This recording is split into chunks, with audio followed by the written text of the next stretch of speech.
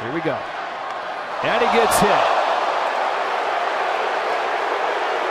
Bellinger will score. The Dodgers lead 7-5 and station to station they go. Sinker in, hits him right in the wallet. That's for base running, but for right now, that's for protection.